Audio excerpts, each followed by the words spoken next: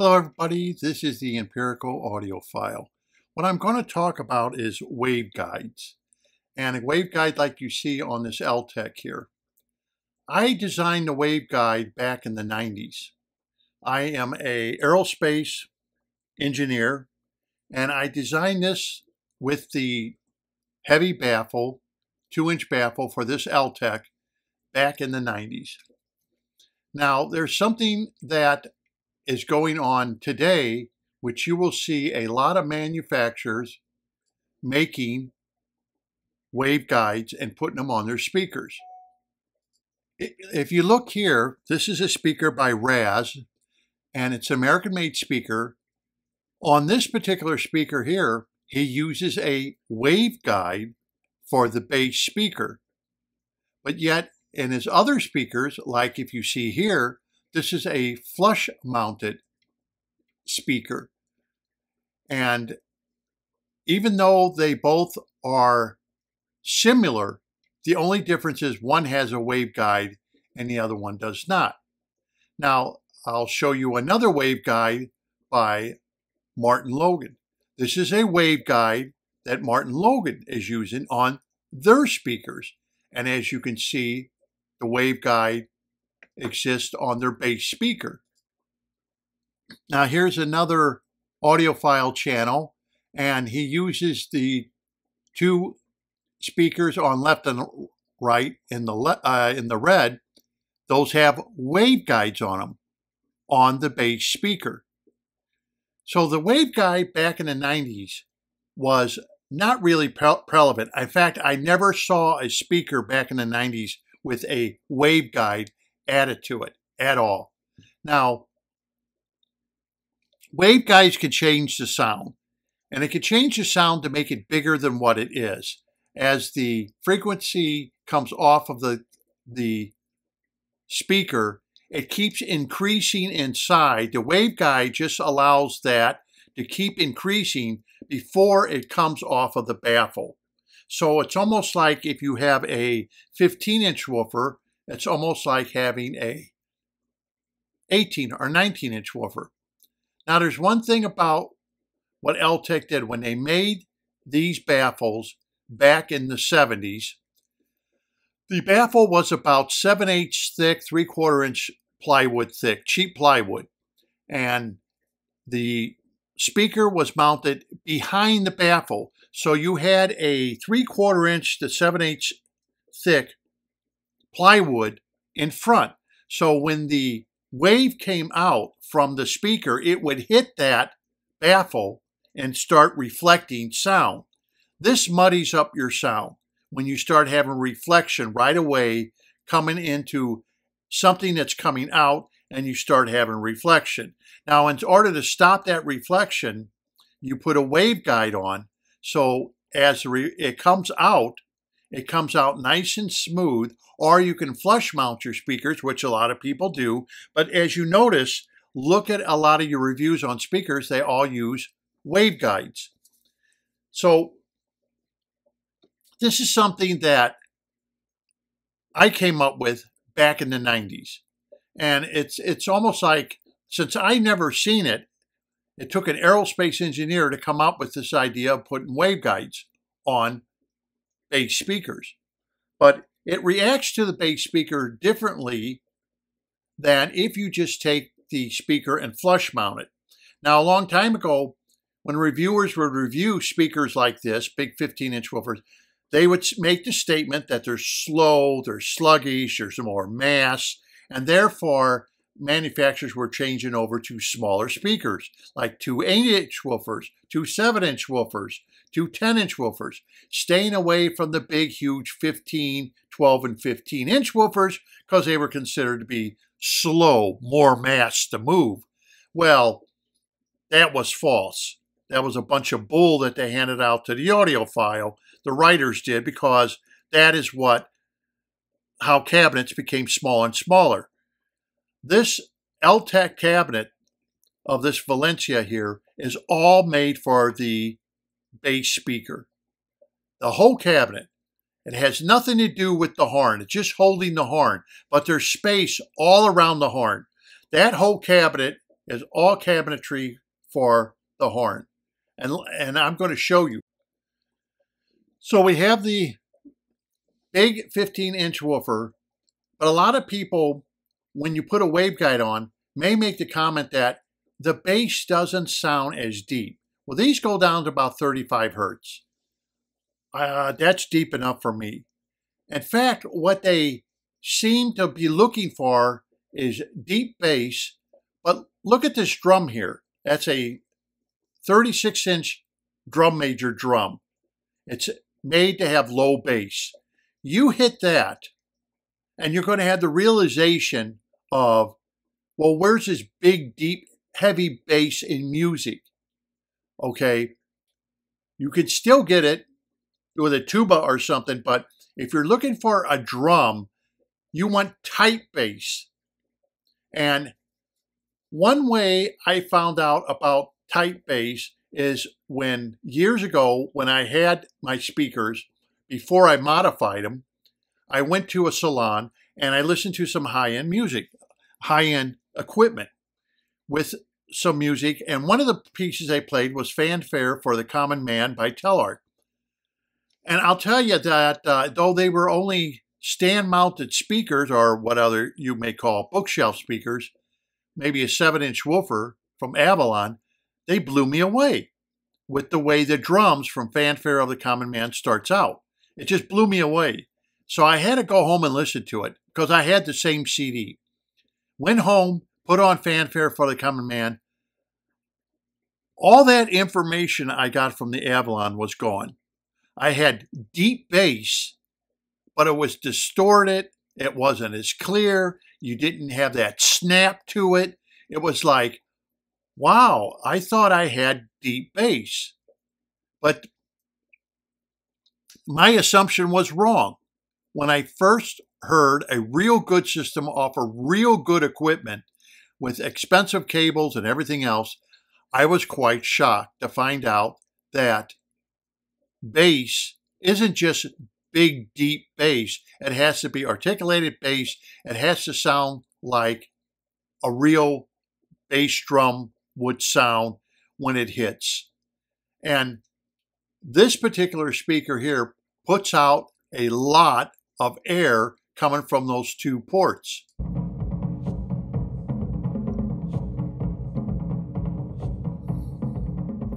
Now in this view here, this is Kodo Drummers of Japan. I don't want to be demonetized, but you can see as the big bass drum gets hit, maybe it's six foot in diameter. Look at the piece of paper and the air movement coming out of those four inch ports. But yet, if you look at the speaker itself, it's barely moving. And that's about at 98 dB you're listening to.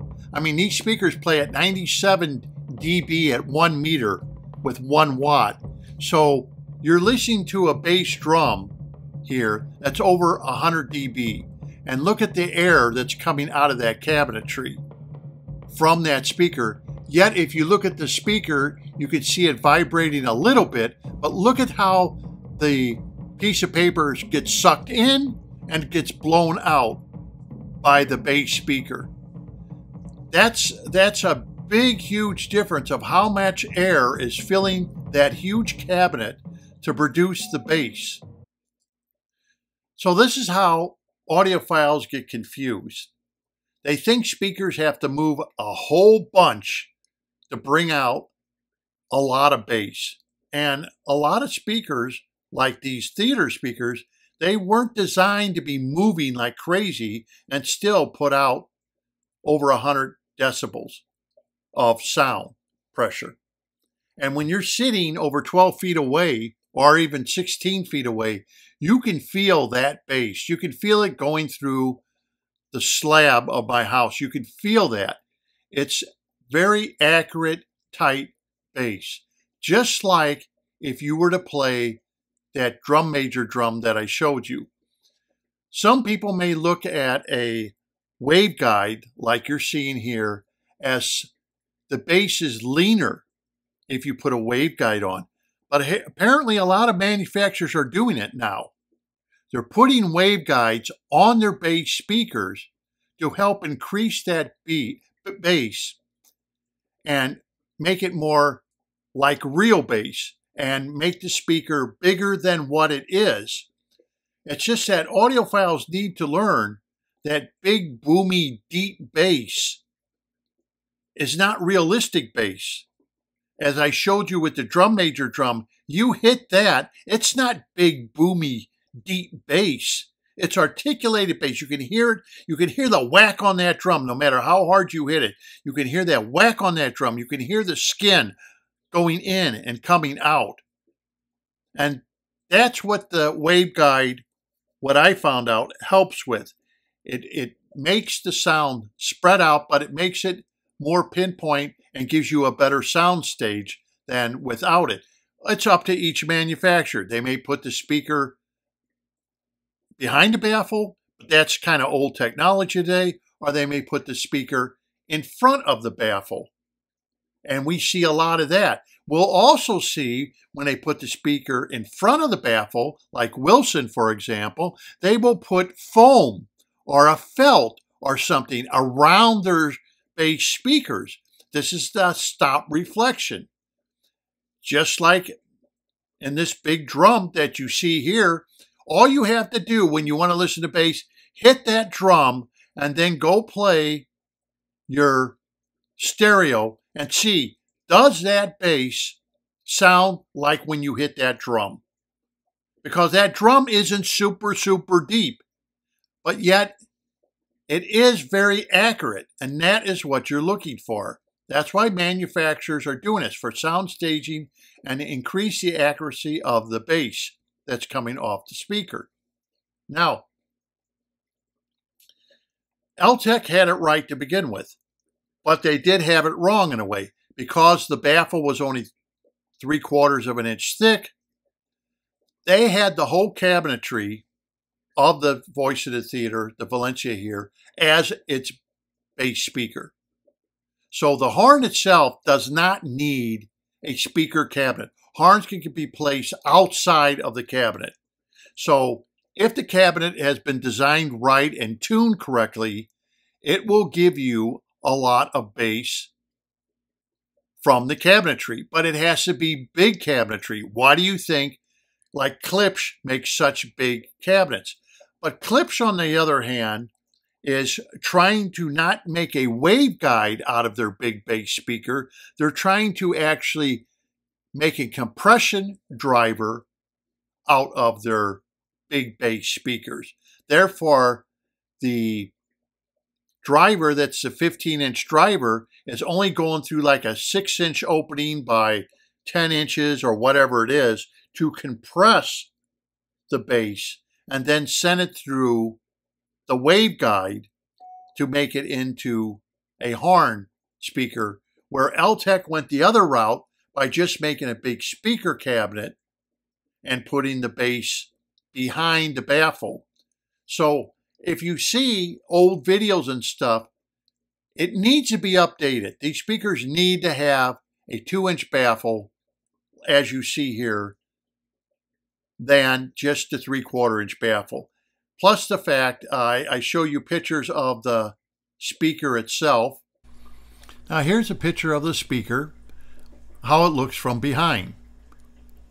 As you can see, the speaker itself also has a piece of resin on the very back of the speaker to help deaden it and to control the speaker so the bass sounds tight and articulate it like newer speakers have.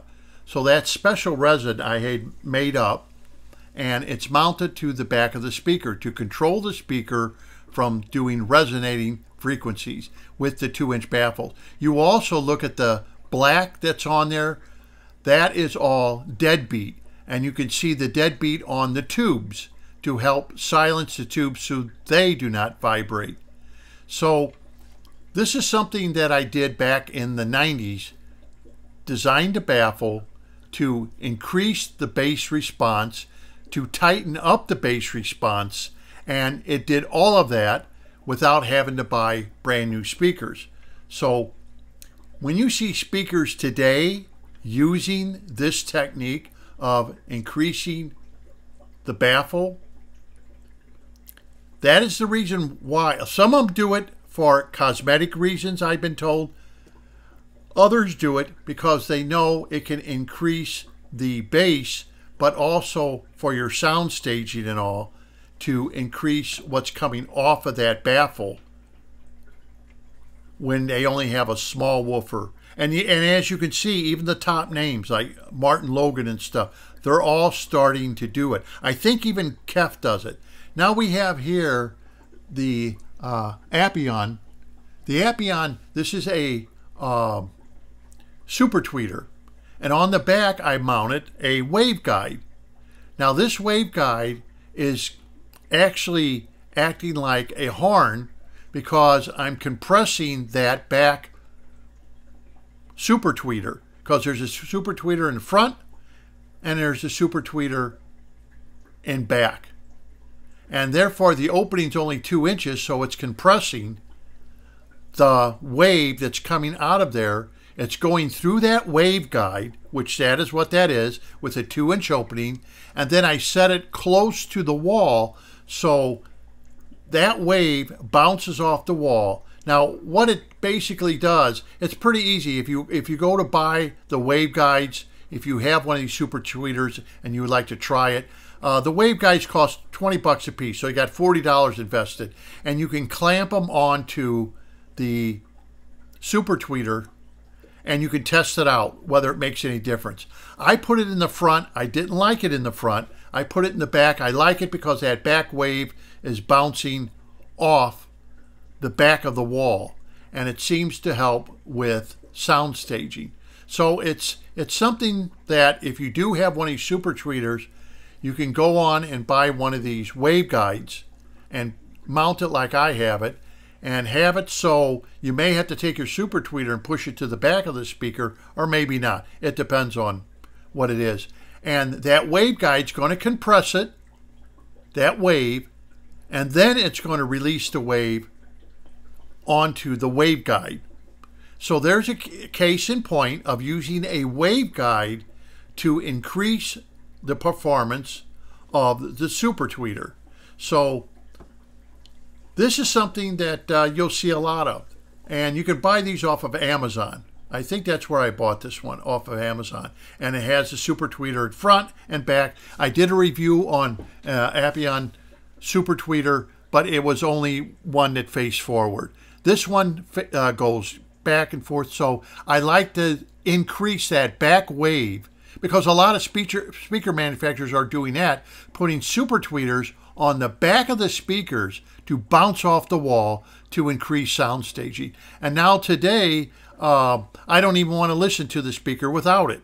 It just sounds better for the sound staging to have the super tweeter facing the wall and having it going through a waveguide. So the waveguide increases it without increasing the front firing super tweeter.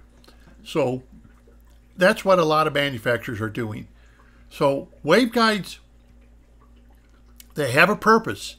But a lot of people may listen to one, a speaker with a waveguide, and say, it doesn't have that deep bass. Okay. You got to learn that this is real bass. Okay. That's not deep bass. That needs to match your speakers. If your speakers can play that drum correctly, then you have true bass. If it cannot play that drum correctly, like uh, Kodo drummers of Japan or fanfare for the common man when they hit the timpani uh, drums, if it can't play it right, you're going to lose a lot of information. And let me tell you something. Once you hear it, once you hear it the correct way, you'll never go back. You'll say, you know what? I'd rather accept this than that big, deep, boomy, muddy, distorted bass. Yeah, it, you know, I think too many people are used to their surround sound systems and therefore they're looking for that deep bass. But you know, that's for movies. That's not for reproducing music. That's for movies to get to crash and bang and everything else. And you're not at a concert where they're turning everything up super, super loud so you can hear the music, you know, when you're 45 rows back in the theater or in the venue that you're at. We're listening to music in our homes. We're trying to reproduce music. We're trying to have very, very tight bass. Tight bass will not sound as deep as muddy bass. Muddy bass is always going to sound, muddy bass is just going to sound deeper because it's muddy. That's the way it's coming to us. As you keep tightening up the bass, like a bass drum, when the skin's tight and at the right right and you hit it, you know right away how loud it is. You'll be able to hear the skin moving, you'll be able to hear the back motion, the front motion. That's what you want. That is tight bass. When people say the bass is not tight, you you need then to learn what good musical bass sounds like. And once you learn it, you'll never go back to the old way of thinking that, oh, I want real deep bass. If you want deep bass, you get a speaker that can play. But most of the time, deep bass just comes out as a rumble for most people when they hear it. It's just a rumble. I mean, when you listen to the bass from the speaker, it will go through. The wave will go through the cement slab I'm on. It will go through that slab, and you'll be sitting in a chair 12 feet or 16 feet away, and you'll feel that bass going through the slab coming up your leg. You, you, you can feel that bass. You can feel it hitting you. And remember, this is coming off the speakers at over 100 dB. And yet you didn't see that speaker barely even moving because it was a theater speaker. It was designed to be, it doesn't move very much. It was a very efficient driver that Altec made. So that's all I have for this video. You have to learn really what good bass sounds like because I had to learn. I'm not going to tell you I knew the right way. I listened to my speakers for years and years and thought I had great bass until I heard what good bass sounds like from those Avalon speakers off of high-end equipment, the Conrad Johnson and some Kimber cable, and I was shocked. I was so disappointed in my speaker that you see here before I modified it.